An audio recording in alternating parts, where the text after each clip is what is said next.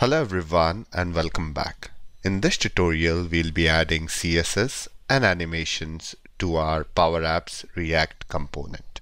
Let's dive into the code and let's make changes. So the first file that I'm going to look at is the control manifest file. In the control manifest file we have got we can configure CSS. So what I'm going to do I'm just going to cut it and put it in a section which is not commented right? Immediately when I put it, I get an error saying that this was not found. Good, because it's not found because it's not there. Let's create a folder. I'll say CSS. And in the CSS folder, I'm going to create a react counter.css.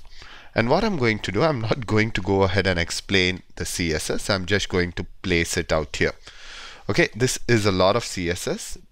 It gives a good look and feel. For example, each button will have its own color and then there are few animation properties out here which is used to flip right, flip left and also rotate 180 degrees. Okay, so this is what the animation counters would be like.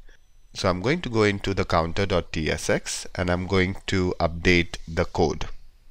So firstly, we need to add the animations. So I'm going to use the interface so that I can add animations to it.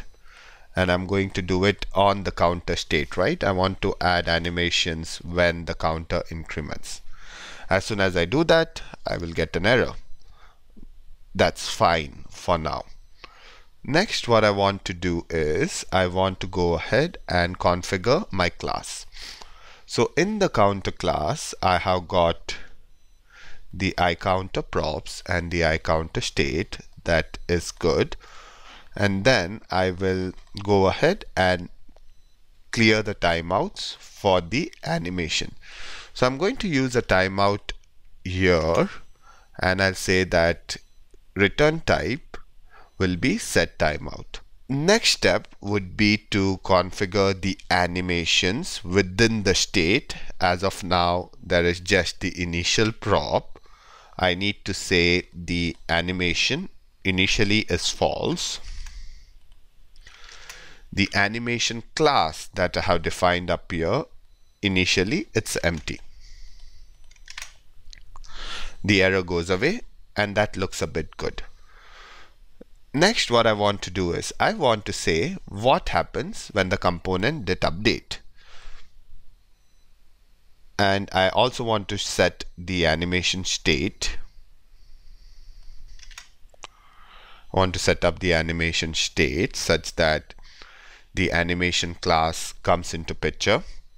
Next I want to go ahead and have the increment out here which looks good but there are no animations to it. So I'm going to change that as well. So the increment would be changed such that uh, we have the animation set state as of now and we are going to use the flip right. Similarly, for decrement, we will use flip left if that helps. And then on reset, we will say just go ahead and flip 180 degrees. To we need to get rid of the reset out here. It's double. So let me get rid of it. So get rid of this. So in the render method as well we need to go ahead and apply a bit of CSS going to apply CSS to the state itself. And let me just change this buttons it's too much like increment and decrement. Let's say plus minus and let's say R for reset and this looks good. So what I'm going to do is I'm going to say npm run build and start watch. Let's see what comes out of it. And here if you see we didn't get it exactly right but we have the animations working plus minus and reset okay? It's not as expected so we need to go ahead and look at the problem and if you look at the problem there is no animations applied to the button so what I'm going to do is I'm going to also apply animations to the button So on click is this dot increment, right? And similarly, we have decrement and reset. So let's make a div element and let's apply the buttons, the CSS as well. So let's do this. Let's try to do this. Let's try to save it. Let's go back. And here, my friends, you see that we have the plus, we have the minus, we have the R. If we set an initial value, the initial value also gets updated now dynamically. And I think that's pretty much it. Our counter is actually ready to be deployed. And let's go ahead and deploy it in the next tutorial. Thank you. Bye-bye.